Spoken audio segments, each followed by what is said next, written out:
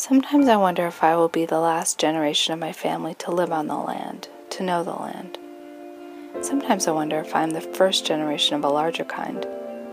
The first generation of people to finally and permanently leave the land, the small towns, and the Lutheran churches where they still make coffee by mixing a raw egg with the grounds.